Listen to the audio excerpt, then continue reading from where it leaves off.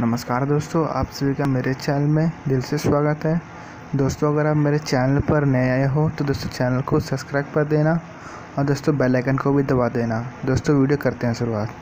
दोस्तों, आज हम बात करेंगे हम आयरलैंड विशेष वेस्ट इंडीज, जो कि मैच है, चौथा।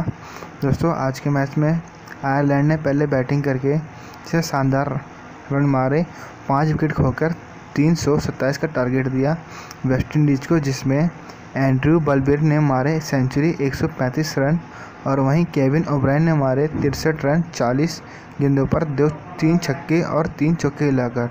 वहीं बात करें पॉल स्टर्लिंग जिन्होंने जिन्होंने मारे 77 रन, अंठानवे गेंदों पर आठ चौके, दो छक्के लगाकर।